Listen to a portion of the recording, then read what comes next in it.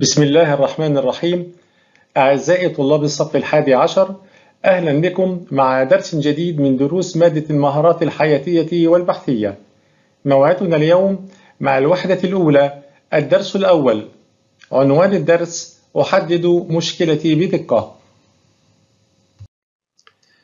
في نهاية هذا الدرس يتوقع من الطالب أولا أن يعرف مشكلة البحث ثانيا أن يستنتج حدود مشكلة البحث ثالثا أن يصيغ مشكلة البحث عزيزي الطالب هل سألت نفسك كيف استطاعت هذه السيارة الحديثة أن تسير بسرعة مذهلة وتتحكم في الطريق وعمليات السلامة من تلقاء نفسها؟ هل شاهدت يوما إحدى البنايات الشاهقة وهي تتأرجح بفعل الرياح والزلازل ولكنها لم تنهار؟ هل تعلم أن هناك من العمليات الجراحية التي تتم عن بعد دون أن يكون الطبيب بجوار المريض وتكلل بالنجاح؟ هل شغل تفكيرك كل هذه الاختراعات المتقدمة وغيرها؟ هل تعلم عزيزي الطالب ما هو السبب؟ فكر في الإجابة. سمعت أحد الطلاب يقول أن السبب هو البحث العلمي وأنا أقول أحسنت بارك الله لك. إذا يبقى السؤال هل للبحث العلمي أهمية؟ فكروا معي أعزائي الطلاب. أحسنتم. بارك الله فيكم جميعا. أعزائي الطلاب أهمية البحث العلمي أهمية عظيمة ولذلك سوف أعرض بعضا منها. أولا رفع مستوى الوعي لدى أفراد المجتمع مما يساهم في تطويره. ثانيا نمو المجتمع اقتصاديا مما يحقق رفاهية أفراده. ثالثا إيجاد تفسيرات للظواهر الطبيعية والتنبؤ بها. رابعا تتبع الإنجازات الفكرية للإنسان في مختلف المجالات. أعزائي الطلاب في البداية دعونا نتعرف على مفهوم مشكلة البحث مشكلة البحث هي وضع جديد غير مرغوب فيه نتيجة تغير يطرأ على طريقة العمل أو بسبب ظرف معين يبدأ الباحث بدراسة المشكلة التي تواجهه والتفكير فيها مستخدما أساليب وخطوات البحث العلمي ليضع تفسيرا لهذه المشكلة.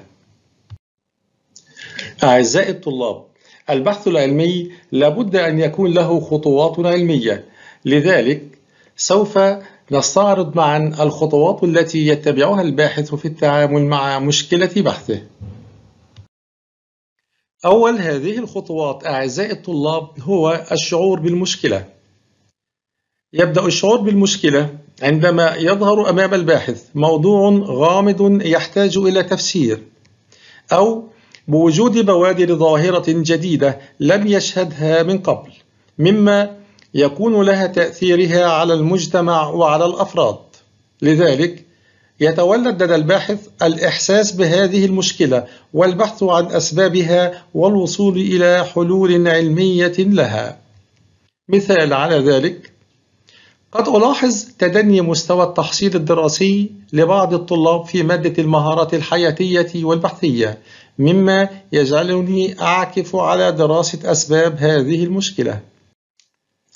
أعزائي الطلاب، لنفتح الكتاب المدرسي الصفحة الرابعة عشر النشاط الأول يرجى إعادة صياغة مفهوم مشكلة البحث من خلال ترتيب كلماتها المبعثرة الكلمات هي يترجمها الباحث في صورة تساؤلات أو فرضيات قضية في مجال معين ويسعى للإجابة عنها بشكل واضح.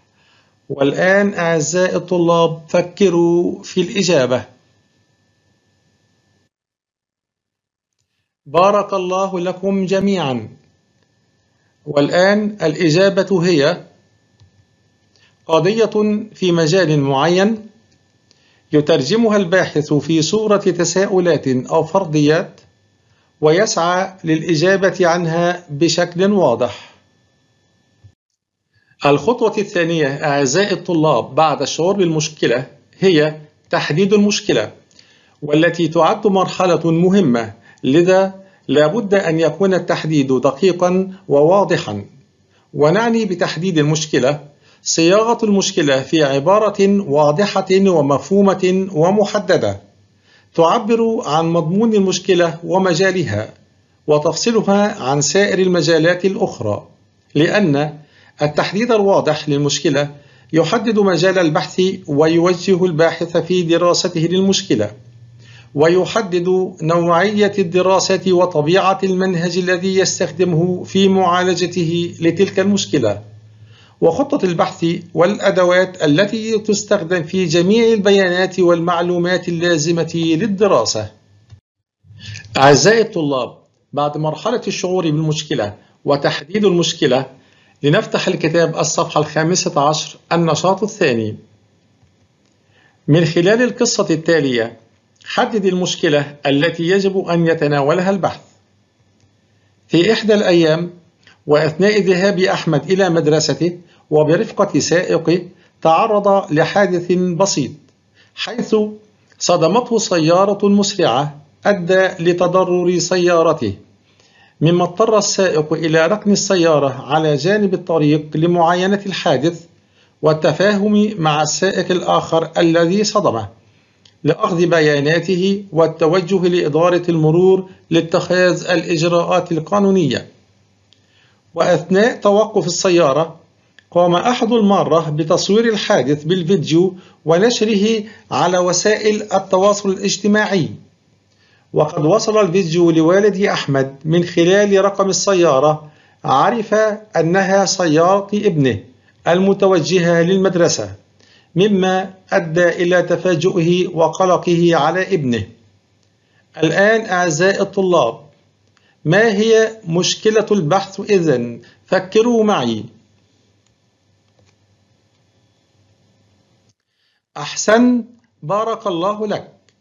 المشكلة تصوير الحادث ونشره على وسائل التواصل الاجتماعي. أعزائي الطلاب تحديد المشكلة في البحث العلمي له شروط. إذا ما هي تلك الشروط؟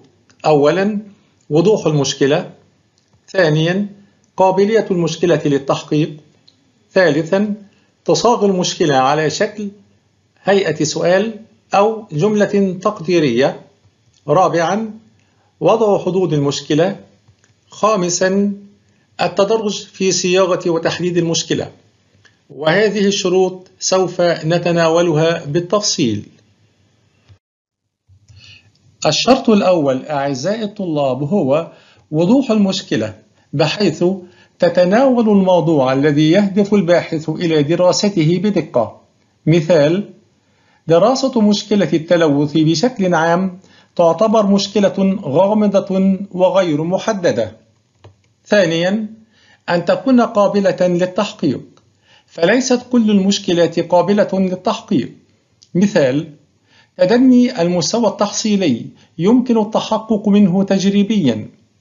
أما تفسير عملية توليد الطاقة من النجوم فيصعب تناولها تجريبيا. لأن ذلك مبني على نظريات غير متحقق منها علميا.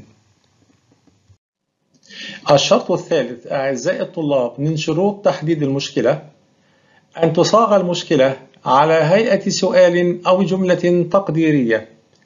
مثال ما مدى تأثير استخدام الجوال أثناء قيادة السيارة على ارتفاع نسبة الحوادث المرورية بين الشباب في مدينة الدوحة. صيغة سؤال. تأثير استخدام الجوال أثناء قيادة السيارة على ارتفاع نسبة الحوادث المرورية بين الشباب في مدينة الدوحة. جملة تقديرية. الشرط الرابع أعزائي الطلاب هو وضع حدود المشكلة. يتوجب على الباحث أن يحدد بحثه بشكل دقيق وتشمل حدود المشكلة الفترة الزمنية والمنطقة الجغرافية والحدود الزمنية والأشخاص الذين يشملهم البحث وتحدد حدود المشكلة تبعا لكل بحث. مثال ما أثر ترسب بقع الزيت من ناقلات النفط على الشعب المرجانية في منطقة مساعيد الصناعية خلال الفترة 2018-2019 الحدود الموضوعية ترسب بقع الزيت من ناقلات النفط على الشعب المرجانية. الحدود المكانية منطقة مساعيد الصناعية. الحدود الزمانية الفترة 2018-2019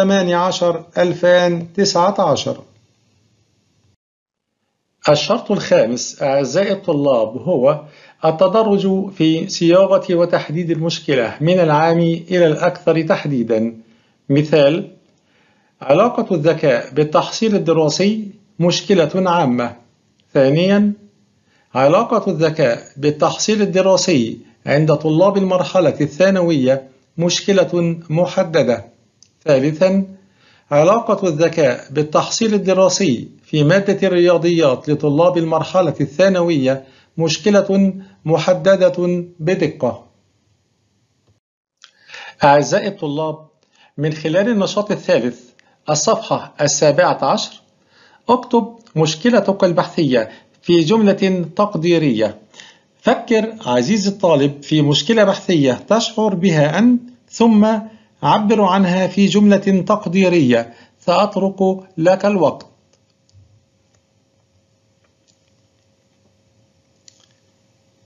أحسن. بارك الله لك.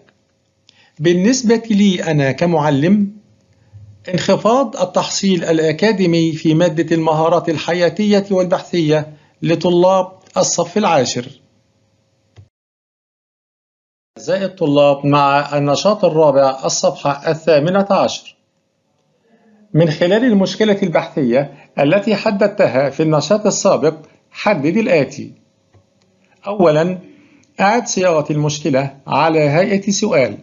ثانيا اكتب الحدود الموضوعية والمكانية لمشكلة البحث. ثالثا ضمن أي فئة من فئات العلوم يمكن تصنيف مشكلة البحث؟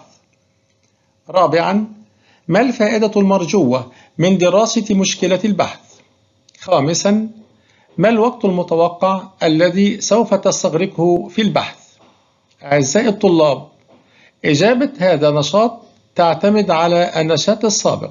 لذا أوقفوا الفيديو ثم فكروا في الإجابة. بارك الله فيكم. والآن مع إجابة النشاط. أولا أعد صياغة المشكلة على هيئة سؤال ما أسباب انخفاض التحصيل الأكاديمي لدى طلاب الصف العاشر في مادة المهارات الحياتية والبحثية؟ ثانيا اكتب الحدود الموضوعية والمكانية لمشكلة البحث. الحدود الموضوعية التحصيل الأكاديمي لمادة المهارات الحياتية والبحثية طلاب الصف العاشر.